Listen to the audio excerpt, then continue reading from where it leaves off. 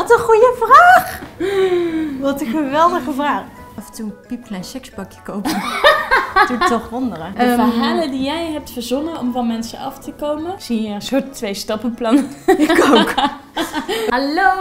Wat leuk dat je kijkt naar Let's Talk Love, een serie waarin ik de liefde onder de loep neem. En vandaag doe ik dat met Onder Kim. de loep.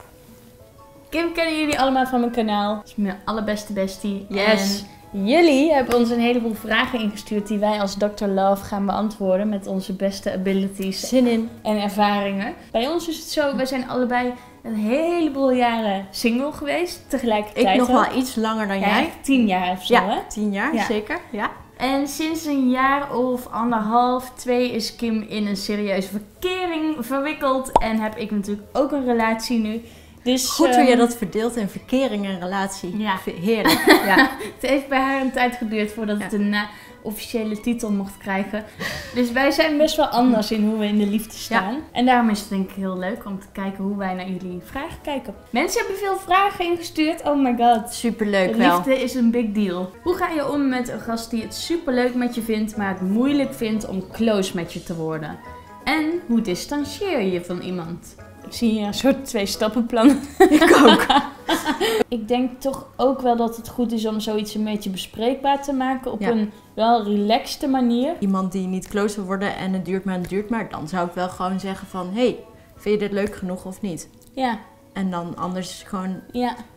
Banden doorsnijden Ja, met, een Met messen, allerlei zagen. Ik vind toch, als je in ieder geval zelf hebt gezegd hoe je je voelt, dan is aan jou verder geen enkele blame als het niet werkt. Want jij bent Plus dat het uiteindelijk chiller is voor jezelf.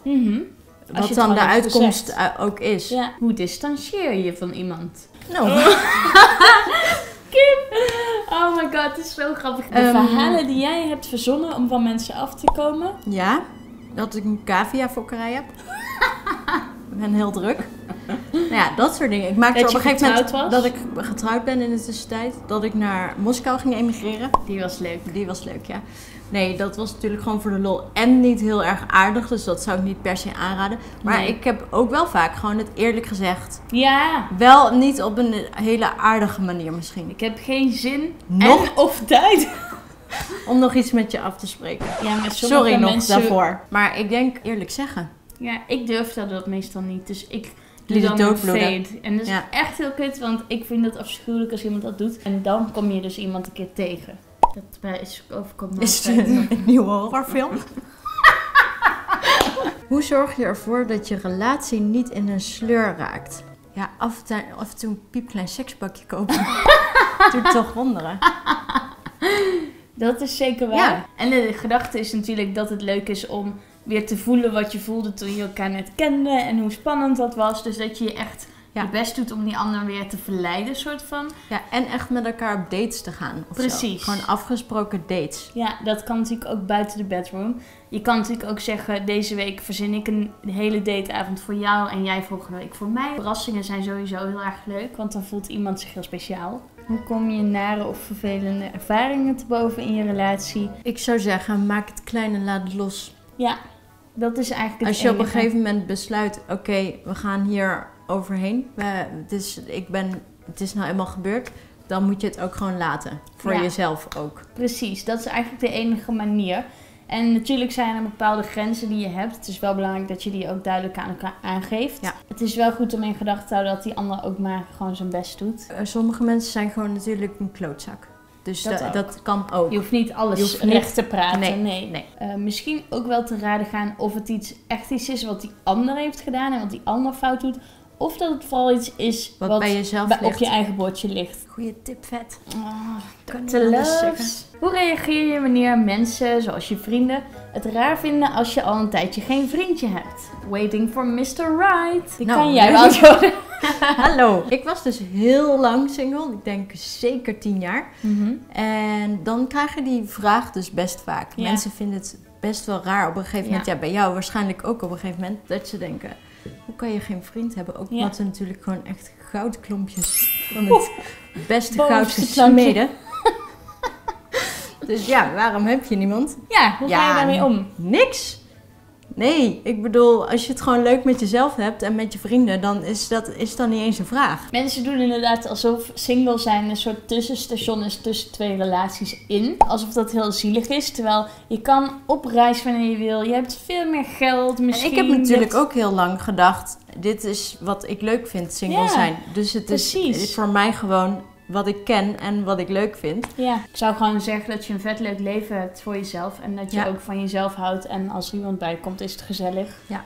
Maar eh, dat je absoluut niet zielig bent. Waar ontmoet je leuke jongens als single lady in de stad? En hoe stap je op een jongen af zonder onzeker of desperate over te komen? Nou, het is best wel moeilijk. Op een gegeven moment denk je, huh, iedereen die leuk is heeft al een vriend. Iedereen Ja. die vrijgezel is, appt nooit terug of zo. Of is gewoon Ja, weird. dat is alleen bij jou, Dat is bij mij.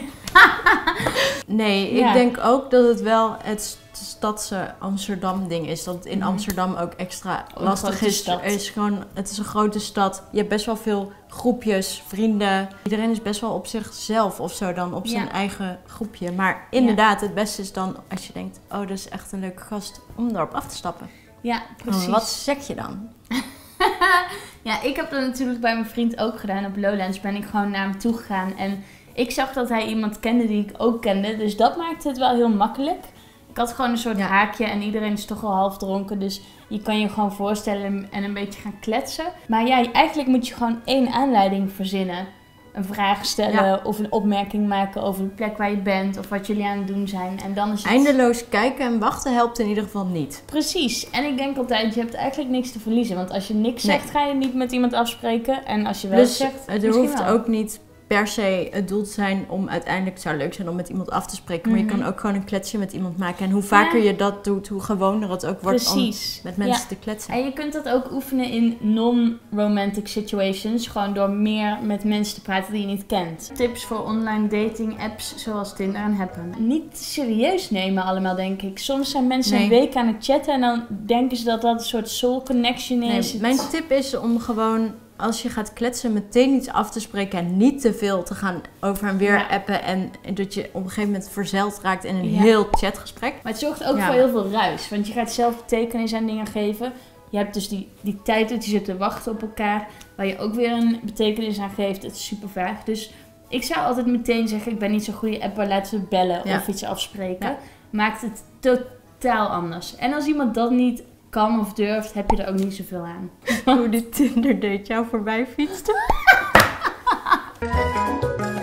Oh ja, dit is ook grappig. Helemaal in de begindagen van Tinder hadden wij dat ook. En toen Ja. ging ik op een gegeven moment met een gast op date. Maar ja, je weet natuurlijk niet precies wie iemand is. Dus op weg naar toe kwam ik toevallig langs jou. Jij zat op de hoek ergens iets te drinken. Ik zo'n heel glas wijn achterover gegooid. En toen zat ik op de fiets. En toen werd ik dus ingehaald door die Tinder date. Ja, wij zaten al zo van, oh je komt te laat, je moet opschieten. Ja. En toen, die gast Oh, was dus ook te ik laat. had helemaal de slappe lach en ik was waarschijnlijk al half dronken. En moet ik nu ook sneller gaan fietsen of langzamer?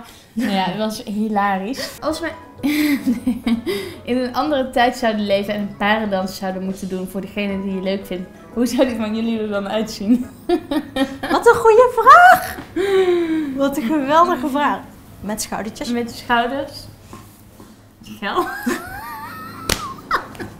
Yes, ik heb een liefdeskwestie. Mijn vriend en ik zijn al twee jaar samen. We houden van elkaar en alles is toppie. Toch zit ik ergens mee. Ik heb het gevoel dat dit geen gezonde relatie is. Hij heeft totaal geen motivatie in het leven qua nieuwe dingen zien, carrière, nieuwe plekken bezoeken. Terwijl ik daar zoveel mee bezig ben. Ik heb het nu, heb, ben het nu al opgegeven en vraag bijna nooit meer aan hem of hij ergens mee naartoe wil. Maar sinds ik met hem ben, ben ik dan ook niet beter geworden als persoon. Ik heb het hem ook verteld, maar hij moest erom lachen en hij zei dat het wel goed kwam. Iemand die Maar- niet op reis wil? Ja, en die überhaupt niet echt nieuwe dingetjes wil zien of wil ontdekken, dat is wel een beetje jammer. Ja. Want dat is toch wel wat het leven zo leuk en bijzonder maakt. Ik weet niet op wat voor manier het bespreekbaar is gemaakt. In de zin van dat er lacherig over gedaan wordt. is natuurlijk Ja. niet super leuk al. Nee. Maar misschien toch een keer serieus ter sprake brengen. Dat Ja. het voor jou echt een issue is. Dat het voor jou wel belangrijk is om Mhm. leuke nieuwe dingetjes te doen. En Dat je dat met En- iemand wil ja. doen. Ja, maar het is best wel tricky. Het is eerlijk gezegd voor mij niet iets waar ik me overheen zou kunnen zetten. Maar dat is natuurlijk per persoon dus verschillend. persoonlijk, ja. Vraag voor Dr. Love. Een tip om een gesprek te openen met een onbekend iemand die je interessant vindt. ja. Maak een grap, zou ik zeggen. Ja, Ik bedoel, iedereen houdt van een grap. precies. Of een Toch? leuk luchtig compliment En, over ja. iets wat iemand doet. We hebben ook wel eens een keer naar iemand gewezen op het fietspad die toen stopte en bij ons kwam Nee, zitten. maar nee, die kwam pas 10 minuten Die later kwamen terug. fietsen, ja. Ze kwamen Ze terug zeiden- fietsen. Ze en zwaaiden toen, naar ons. Ja, En toen fietsen ze terug en zeiden ze... Hé, hey, wij zwaaiden net naar jullie. We komen een biertje met jullie drinken. Hadden ze dus 10 minuten over moeten overleggen waarschijnlijk. Maar Ja, dat vonden dat- wij super leuk. ja, dat vonden we heel leuk. Echt een coole actie. Ja, Ja. die Date date daarna. Ja. Wat te doen als de guy helemaal geen tijd heeft voor een relatie, namelijk bezig met het opzetten van een bedrijf, hoewel je beide over your ears bent. Ja, het ligt er een beetje aan wat je ook hoe de toekomst er dan uit gaat zien. Is iemand de komende 20 jaar alleen maar weg of alleen maar aan het werk, of is het nu een jaartje? Want dan is het wel iets wat je denk ik samen uit kan vogelen. Bedoel, mensen leven ook wel eens long distance relaties en dat werkt ook soms. Ja, maar je hoeft niet te- nu te bedenken of je een jaar of twintig jaar met je werk bezig bent. Wil, wil je op dit moment met iemand zijn, ja of Mhm. nee? Ja, Eh, en schijnbaar dus dan niet graag genoeg als dit al een obstakel is. ja. Ja, be prepared. Ben ik te streng? Ja, misschien. Beetje te streng? Ja. Oké. ja, het is moeilijk te zeggen, maar ik denk, want ik denk ook altijd dat je echt met elkaar wil zijn, vind Dan je gebeurt wel een het wel. manier. Want Ja. je hebt elkaar al gevonden, je bent dol op elkaar, dus make it happen. Maar goed, ik snap wel dat het in de praktijk niet echt zo werkt. Misschien kun je iemand de ruimte geven om zich te ontwikkelen en dat je dat zelf ook doet. En dat je het gewoon wat minder traditioneel aanpakt en elkaar misschien wat minder ziet. Maar ja, zoals altijd, als je ongelukkig bent, heeft een relatie gewoon Nee. niet echt zin. Ik heb nu al vier keer hetzelfde meegemaakt. Dan ben ik aan het daten met iemand.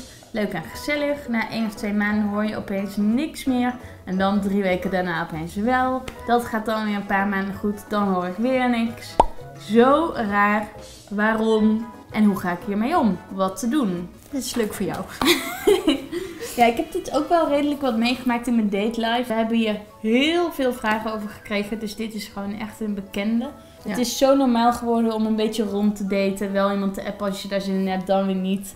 Eh, er zijn niet echt duidelijke gedragsregels of zo. En iedereen is vooral met zichzelf bezig en waar hij zelf zin in heeft. Hoe je ermee omgaat. Niet te veel een soort droomwereld voor jezelf met iemand te schetsen voordat dingen echt al maanden. Hou op man! Ik zit heel serieus Dr. Love advies te geven. Sorry. Eh, maar dat is natuurlijk echt de valkuil van heel veel meiden. We hebben allemaal Sex in the City zitten kijken en al die films. Maar dat zorgt er soms wel voor dat we dingen in ons hoofd creëren die groter zijn dan ze in de werkelijkheid zijn. Terwijl je eigenlijk wil proberen om de eerste paar maanden het gewoon voor jezelf ook heel casual te houden. Dat is echt een slimme truc. Ik ben daar super slecht in, maar Kim heeft me daar echt in getraind. Mijn uitgangspunt is eigenlijk gewoon altijd, en dat is heel egoïstisch, maar ik vind dat dat mag in de beginfase van het daten. Namelijk, heb ik het zelf naar mijn zin?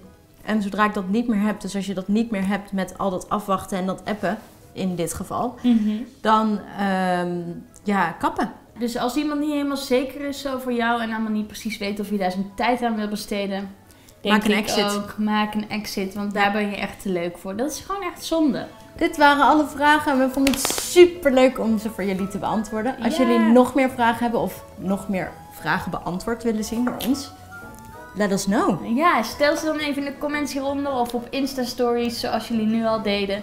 Wij vinden het vet leuk om eh, een beetje te sparren hierover en we hopen Heel dat leuk. enigszins bruikbare Dr. Love adviezen hebben gegeven. Ik hoop je snel weer te zien en als je dit soort video's leuk vindt, vergeet dan vooral niet je te abonneren op mijn kanaal. En dan zie ik je snel weer.